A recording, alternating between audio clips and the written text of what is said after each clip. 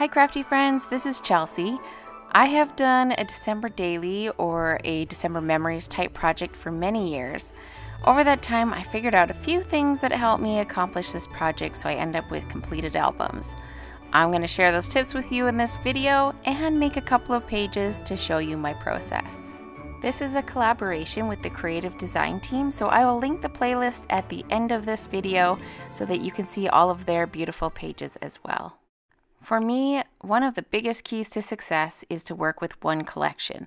That way, I know everything flows together and I don't have to worry about things matching or going together well. This year, I'm using the beautiful Christmas Story collection from Close to My Heart. I'm showing you here the pocket cards. They're called Picture My Life cards.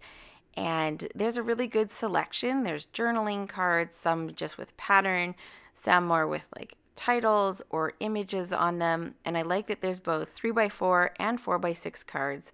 So lots of selection there. I like to mix in pocket pages as well as full 6x8 pages. This is the gorgeous sticker sheet that goes with this collection. I love the touch of gold foil. It's definitely a more kind of traditional Christmas collection. And here are the pattern papers. Now, I love this pattern here with the black background. There's just like really rich colors. And of course, that plaid, I'm going to be using every scrap of that that I can. I love plaids. So, a good selection of more like traditional Christmas colors. And then, of course, there's the coordinating cardstock pack, which is super helpful uh, when you're working on projects, then you know you have a sampling of all the colors of cardstock that match that collection.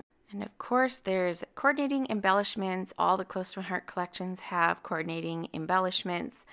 And this one is interesting because it has uh, some die cut glitter paper pieces, which you can't really tell from the front, but I flip it around to the back, you can see the shapes and the words a little bit better.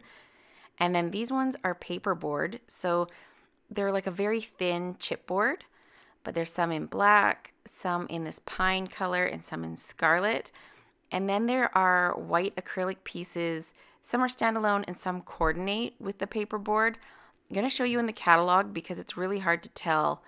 But see how they layer on top of each other? So you have like the white on top of the gold or the black and white together, the black and gold together. So I think that's a really cool feature that you can layer them up and have layered embellishments.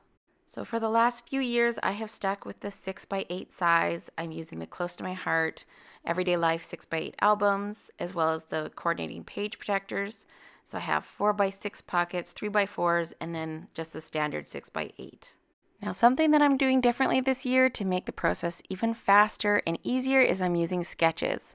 So, the creative design team has designed a sketchbook. This one has measurements, which is awesome. It will help you pull the pages together super fast. And they can be used for any theme, it does not have to be Christmas. So, we have 3x4 pockets, 4x6 pockets, and a lot of the 6x8 pages as well. I will leave a link down in the description box for you guys so you can find it easily and go check it out. So this sketchbook comes as like a digital file.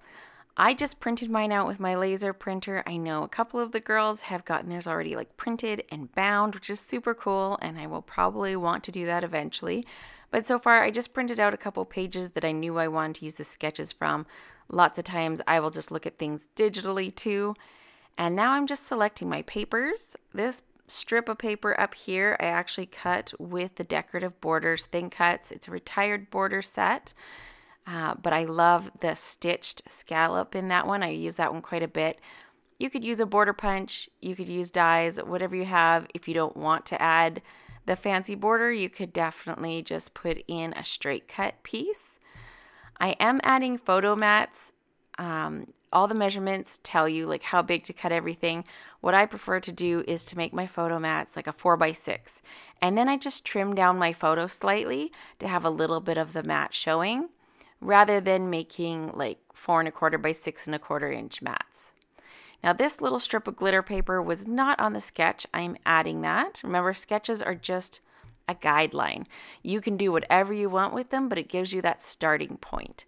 So that little strip of glitter paper is about, I think it's about an eighth of an inch. by six inches. And I love that just little hint of gold because I'm going to have some other gold on this page too, and it will tie it all together. And then I'm dovetailing these strips with a snip in the middle, and then I just go from each corner up to the top of that little snip, and just add a little bit of detail. My goal with December daily pages is to make them pretty, but not overdone either. I want them to have some special details on them, but I always want my photos and my stories to take center stage. I like to have repeating elements on my pages too. So these circles here are going to be for the day numbers. So I have the stitch circle thin cuts and the regular circle thin cuts. Um, and then I also have some greenery. That gold one is from the Christmas Story card making workshop uh, stamp and die set, and then the green one is actually from the embellishment pack that goes with this collection. But I will be having little sprigs of greenery going throughout, as well as those circles as I number my days.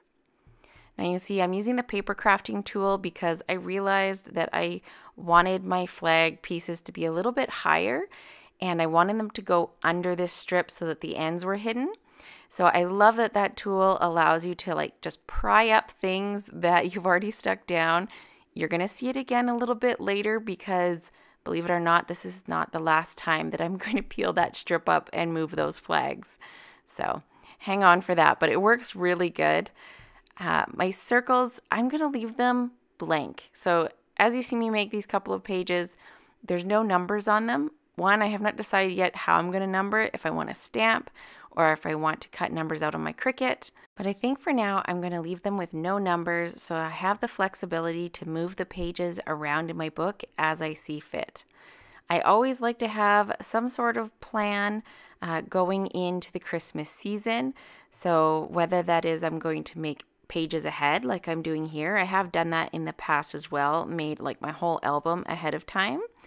And then how to keep track when I'm taking pictures is I use my phone and start a new note and I just put all the days in there and then I will write down my journaling.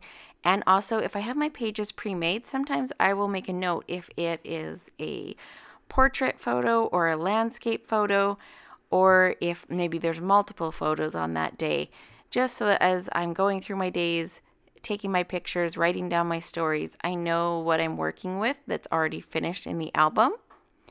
The other thing I have done too is just go through my month, do the same thing, keep track of my journaling in my phone. And then at the end of the month, I create my album. So I've done it both ways. I like both ways. It just kind of depends on what I want to do.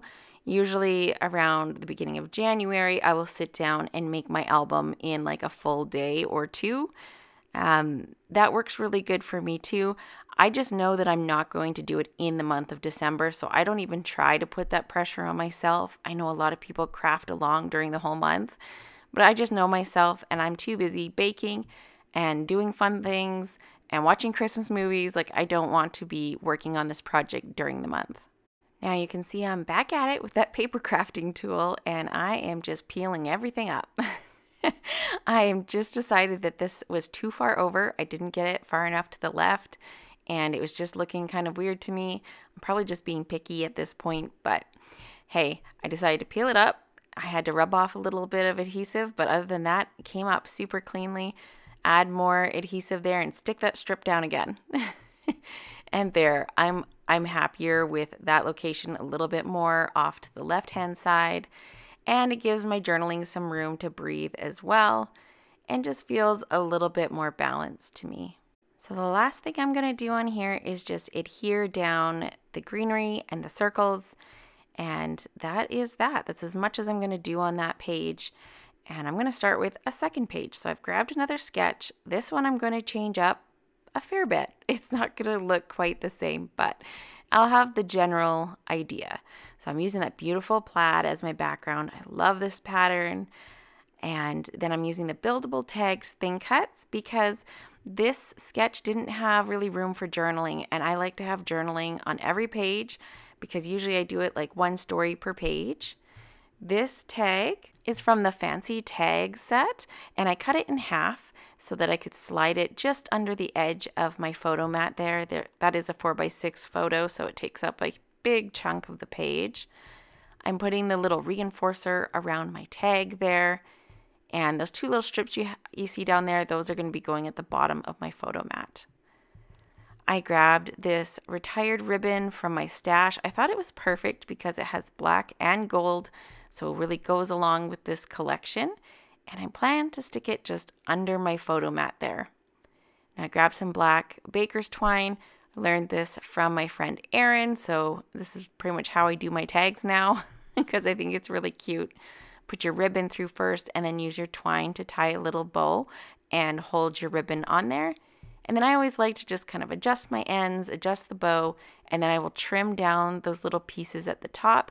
I don't want this sticking super far over the top because that will be sticking out the top of the page protector.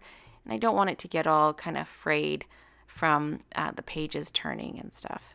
I do really like having some interactive elements on my December daily pages. Uh, it just makes it interesting and fun to flip through the albums. My daughter is obsessed with my albums. I've had the last two years of December albums out uh, just as I've been working on this project for inspiration. And she is obsessed. she will pull them down off the shelf probably like once a day or so and just flip through them and comment on the pictures. And it is so cute. So, people of all ages love these little albums.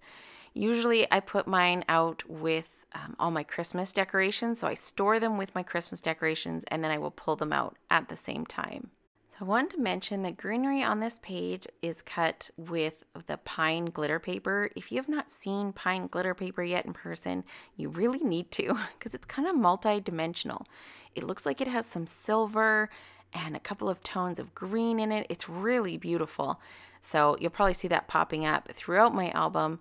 Uh, the large poinsettia is from the sticker sheet. I wish I had a whole sheet of just the flowers because they're so pretty. You can see here I'm using my tag to help me figure out where the adhesive needs to go. I did debate using foam tape on this, but it's just a flat tag with it's going to have some writing on it. So I don't think I need the extra lift or bulk of foam tape. I usually try to keep any foam tape very minimal. I'll be using the thin, the close to my heart thin foam tape and foam dots on here for anything that I do pop up. But I tend to keep things fairly flat because I like to pack my album with a ton of pages. Usually I have a page for each day like one side of a page for each day, and I like to go right to the end of the month. I have done it before where I only go to the 25th or 26th, and that's totally fine too. Find whatever is manageable for you, right? And depending on how much stuff you have going on, if you feel like, hey, we hit the 26th and there's nothing else to talk about, feel free to stop there, right? Now, because we are working ahead, right? I'm making my pages ahead. I always keep in mind anything that is overlapping my photo mats cannot have adhesive, whether it's foam adhesive or uh, glue or anything like that, tape runner. I always make sure that anything going over the photo mat doesn't have any adhesive on it.